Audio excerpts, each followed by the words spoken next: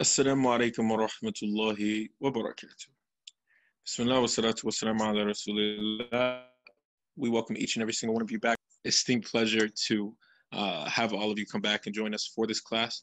It's been a while um, as we recover. So we ask Allah to make school easy on you, easy on your loved ones. We ask Allah to continuously and forever bless each and every single one of you and all of your affairs. Allahumma ameen. And of course, to keep you safe from COVID and what is less than it and what is worse than it. Allahumma ameen, ameen, ameen. So today we're going to be talking about a very special Nebi. But before that, I just want to take a moment to hear from you all. Uh, who was the prophet that we talked about before? Yeah, okay, good. It's cloudy. Maybe the black backdrop is the key. so, uh, who did we talk about last time? Who was the prophet that we spoke about last time we were together? And also share with me one of the takeaways from that story. Anyone? okay, then we encourage all of you to go back and watch that video. And remember, a student of knowledge becomes their notes. So it's not enough for you to just take notes in one class or to just be sitting and listening. No matter how you write the notes, type the notes, or or listen to and make mental notes, um, make sure that you become your notes, inshallah. Otherwise, uh, the pearls, uh, as they say, casting pearls to the swine. It's like you're taking a precious thing and you're and you're throwing it away, right? Today we are going to talk about Yunus ibn Matta. Yunus ibn Matta. Yunus ibn Matta is where I get one part of my name from. Ibn Matta, Yunus ibn Matta. Except uh, I didn't name myself after Nabi uh, Yunus. It's just uh, uh, we, there's no such thing as coincidence. Qadarullah from Allah's decree. We also have the name uh, Ibn Matta at the end. Nabi Yunus um, has a very interesting story, and we're going to go through that a little bit. We're going to take from a few different source uh, source material. We're going to take from uh, Al-Isra'iliyat, we're going to take from uh, Qasas al-Anbiya, and we're going to take from uh, the statement of the Prophet ﷺ about uh, some specific things from Nabi Yusuf, specifically from the narrations in Sahihain in the in the authentic two, um, as well as the books of Sunan with regards to this noble Nebi.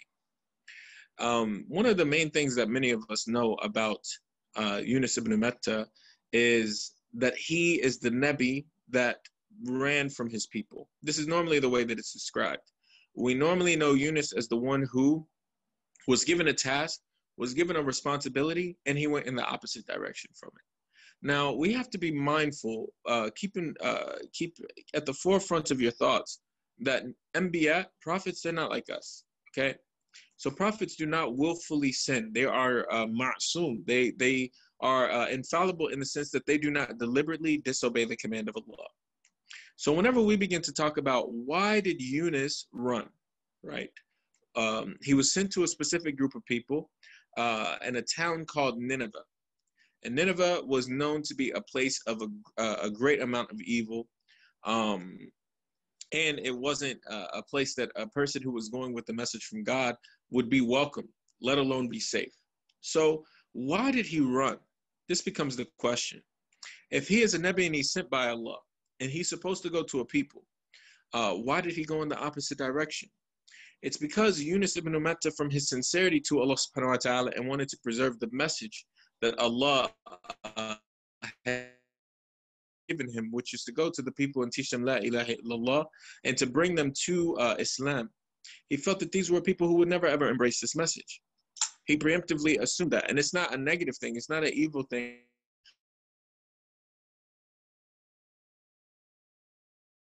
from a place of maliciousness. There's no point in going there. Let me take my dawah elsewhere.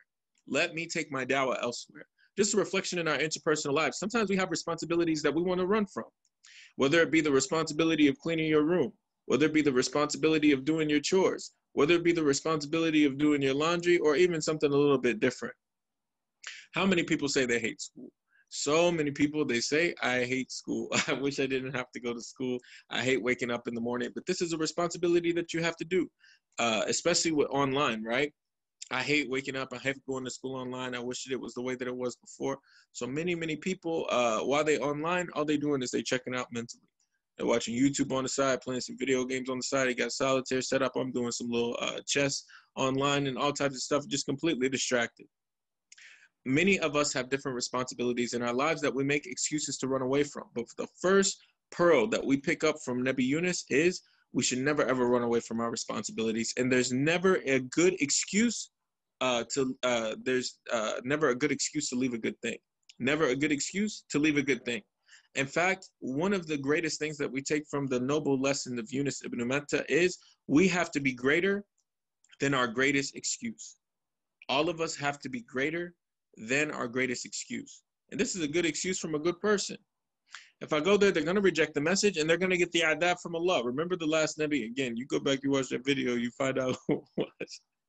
Because their people got some serious adhab that we talked about in that video. Um, if I go there and I share the message of Islam with them, because this is the way that it went for all of the prophets and for all the people who came before us. If we go there, we give them the message and they reject it, they're going to be destroyed. These people, they're not going to accept the message, so let me take the dawah elsewhere. He gets on the boat and we know how the story goes. Once he gets on the boat, and, this, and the details of this is fleshed out a little bit more in Israeliyat, the people, uh, you know, were overtaken by a powerful storm on the ocean. And once that storm started rocking the boat back and forth, uh, in order for the boat to not capsize or to be inundated with the waves that were coming in in the water, the best thing to do in that situation to keep the boat afloat is throw things overboard.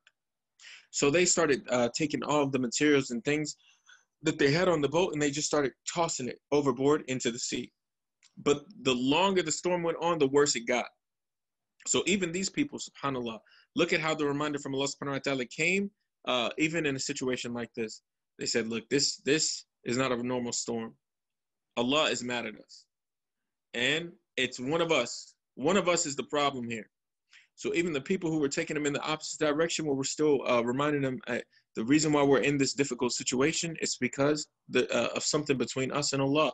It's one of us.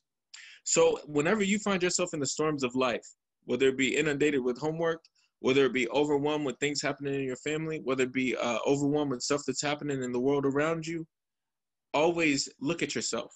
Never ever blame the people around you. Uh, they're on a boat, they're in the middle of the ocean, there's a storm raging. And even in the thickness of that moment, they were willing to stop and think to themselves, what's between us and Allah that is causing this bad situation to happen? This concept of self reflection is so important. Each and every single one of us have to be self reflective, especially when it comes to the storms that are raging in all of our lives.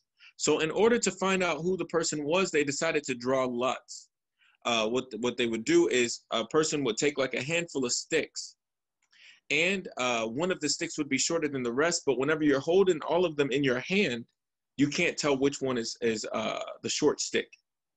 And so what they did was uh, everyone drew a stick, and whoever drew the short stick was the one that they decided we're gonna throw you overboard. So of course they all draw lots, they all draw the sticks, and who pulls the short one? None but Yunus ibn Matta. So at this, they took him and they threw him overseas. And this is actually mentioned in detail in uh, Surah Al-Anbiya, chapter 21, verse number 87. Once he is thrown out, Allah subhanahu wa ta'ala mentions that he called on his on his Lord from from dhulumat. Dhulumat. Dhulum is like uh, darkness. It's darkness. The plural of it is dhulumat. Uh, in Tafsir Ibn Kathir, it mentions that the dhulumat that he was calling on Allah subhanahu wa ta'ala was from three layers.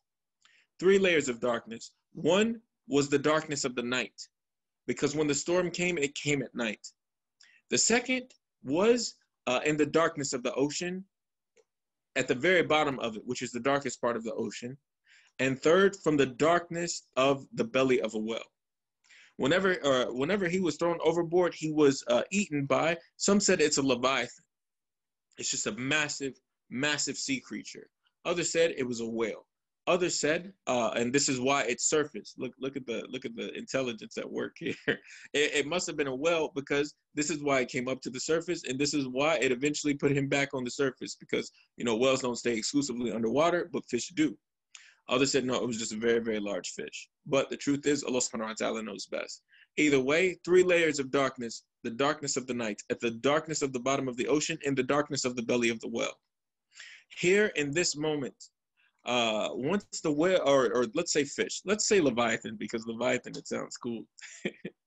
the Leviathan, it begins to plummet to the bottom of the ocean. And once its stomach began to scrape along the bottom of the ocean, Yunus ibn Matta, he heard the rocks make tasbih. He heard the rocks make tasbih.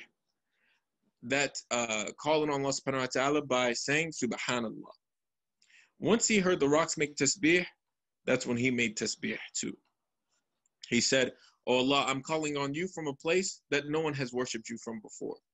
In the stomach of the Leviathan, he positioned himself in a way to where he could prostrate, and he said, Allah, I'm I'm I'm uh, worshiping you, and I'm calling on you from a place no human being from mankind has ever called on you before. And in Surah Safat, in the uh, uh, 37th chapter of the Quran, Allah subhanahu wa ta'ala mentions that if it hadn't been for the fact that he was from Al Musabbihin, meaning from the people who made tasbih. When he heard the rocks, he made tasbih too. Allah subhanahu wa ta'ala said that he would have been in there until uh, Yom al until the resurrection, until the day of judgment. Subhanallah. So whenever you find yourself in the belly of the well, what is the solution out? What is the way out? Tasbih. And what was the tasbih of Yunus ibn Matta that the Prophet Muhammad said? There's no one that makes this dua except that when they make this dua, Allah will answer. Allah will answer your dua after. La ilaha illa ant. There's absolutely nothing worthy of worship except for you. Subhanak. Glorified are you. Free from imperfection are you. When you do tasbih, it's like anything that anyone could say about Allah that could not even come close to remotely uh, true, could not even come close to being accurate, cannot even come close to being correct. Tasbih is it frees Allah from any wrong thing could, that could ever, ever be uh, ascribed to him. This is a part of the reason why one of the most common honorifics that's added to the name of Allah whenever you hear a person speaking is they say Allah subhanahu wa ta'ala. Subhanahu wa ta'ala. Subhanahu wa ta'ala. Sometimes they say it too fast and it sounds like they saying a P. It says sound like them saying some extra. So subhanahu wa ta'ala. Subhanahu wa ta'ala. subhanahu wa ta'ala. This is the type of tasbih where you uh whatever you're saying about Allah subhanahu wa ta'ala, maybe the person who's saying Allah's name is giving a story. Or maybe whenever they're talking about Allah, they're giving a similitude or they're describing things that are happening in our lives. And just so that you do not think that Allah is like anything in any given situation, subhanahu wa ta'ala. We separated him and saying that he is uh, perfect in every way, shape, form, or fashion, far or removed and high above anything that could ever be ascribed to him, associated with him, or described uh, uh, you know, to him, unbefitting of his characteristics, majesty, majesty and glory. So, uh, whenever he found himself in the belly of the well, he made tasbih. He freed Allah subhanahu wa ta'ala from any any wrongdoing. It's not you, it's me. La ilaha illa ant. There's nothing worthy of worship except you alone without partners. Whenever we come back to this point of tahleel, whenever we remember the purpose of life, this is one of the uh, the keys to finding direction. This is one of the keys to finding a way out of our difficulty. Then that tasbih kicks in, subhanak. Glorified are you. Far are you removed. You know, sometimes a person be thinking about Allah and they think evil thoughts about Allah.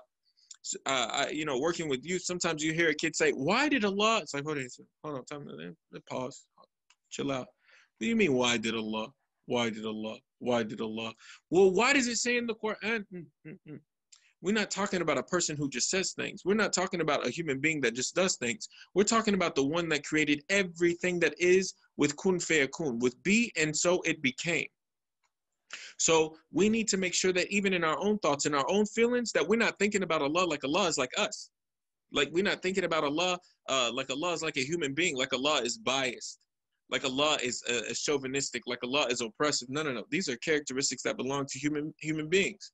Allah is far removed from that, and that's the reason why La ilaha illa ant. And this is the reason why affirm, we affirm it with Subhanak.